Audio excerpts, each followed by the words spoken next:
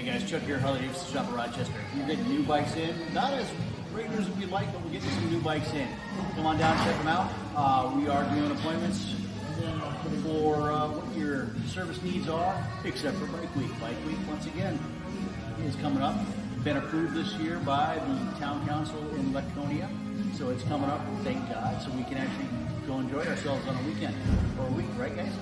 So uh, set up your appointment for us. Uh, we got new bikes in, handlebars, mufflers, whatever you need. Uh, some things are slowly coming in, but we'll take care of you as best we can. Once again, this is Chuck, Rochester Harley Davidson, 603 330 3330. Bye.